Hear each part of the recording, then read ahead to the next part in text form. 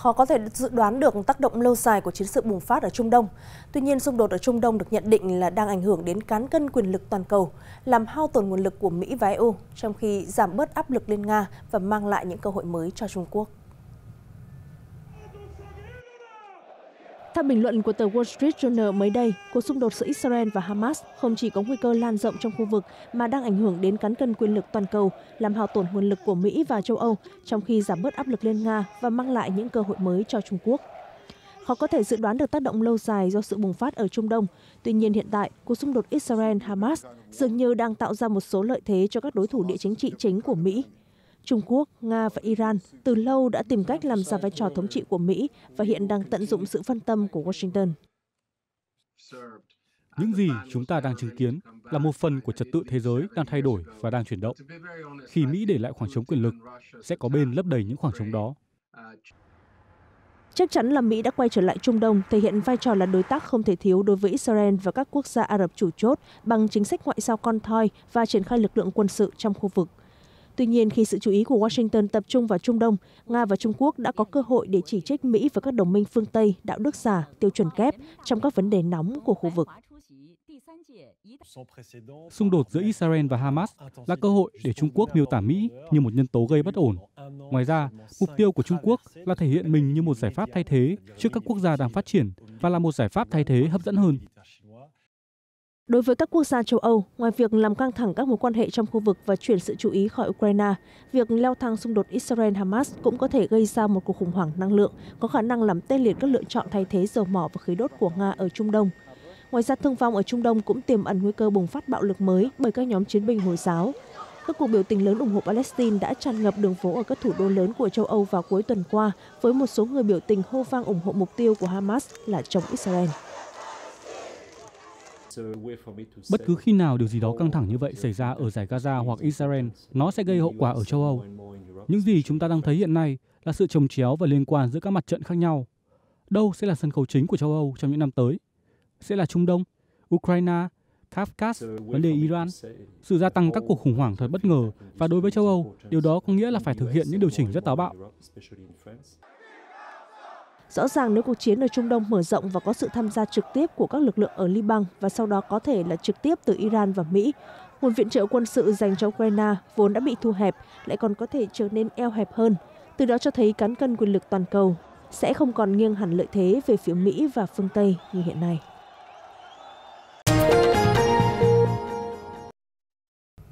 Tại hội nghị thượng đỉnh Mỹ Liên minh châu Âu EU diễn ra ở Washington, Tổng thống Mỹ Joe Biden và các nhà lãnh đạo EU đã đưa ra thông điệp đoàn kết trong bối cảnh thế giới đang phải đối mặt với những thách thức to lớn. Hội nghị thượng đỉnh Mỹ Liên minh châu Âu diễn ra trong bối cảnh khủng hoảng toàn cầu khi xung đột vẫn tiếp diễn ở Ukraine và xung đột giữa Israel và phong trào Hồi giáo Hamas nổ ra. Do đó, các nhà lãnh đạo Mỹ và EU mong muốn thể hiện sự phối hợp chặt chẽ trong phản ứng trước các cuộc xung đột – Chủ tịch Hội đồng châu Âu Charles Michel tuyên bố EU và Mỹ đang xây dựng một mặt trận thống nhất.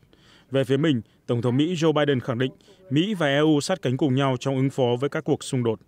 Theo tuyên bố chung sau hội nghị, hai bên cũng bày tỏ lo ngại về cuộc khủng hoảng nhân đạo đang ngày càng tồi tệ ở giải Gaza và đồng ý rằng điều quan trọng là phải ngăn chặn leo thang xung đột trong khu vực. Căng thẳng giữa Ấn Độ và Canada tiếp tục leo thang trong tuần này sau khi Canada thông báo rút 41 trên tổng số 62 nhân viên ngoại giao của nước này tại New Delhi về nước.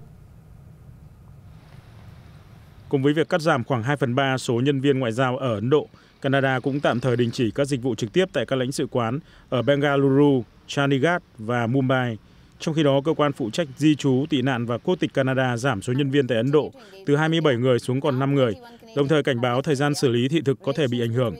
Trước đó, Ấn Độ đã tạm thời ngừng thủ tục cấp thị thực tại Canada. Ấn Độ trước đó đã cảnh báo sẽ thu hồi quyền miễn trừ ngoại giao nếu Canada không tuân thủ yêu cầu về sự bình đẳng trong nhân sự ngoại giao. Thủ tướng Canada Justin Trudeau hôm qua chỉ trích động thái của Ấn Độ có thể khiến cuộc sống của hàng triệu người ở cả hai nước trở nên khó khăn hơn. Ngày 22 tháng 10, hơn 35,3 triệu cử tri Argentina đã đi bỏ phiếu trong cuộc bầu cử tổng thống để chọn ra nhà lãnh đạo của đất nước nhiệm kỳ 2023-2027. Cuộc tổng tuyển cử lần này được đánh giá là kịch tính và khó đoán định hơn bao giờ hết, với việc các cử tri tại quốc gia Nam Mỹ này đang đứng giữa những tư tưởng đối ngược nhau.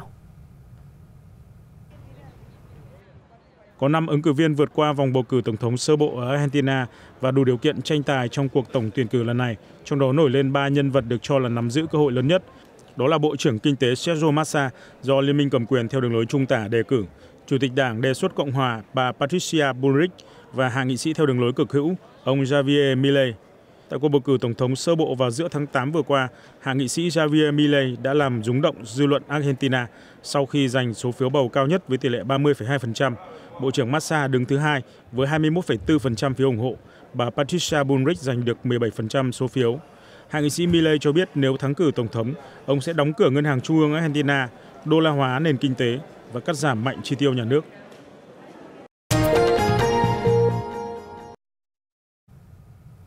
Hôm nay, Thủ tướng Australia Anthony Albanese thông báo nước này đã đạt được thỏa thuận với Trung Quốc để tiến tới giải quyết tranh chấp về rượu vang.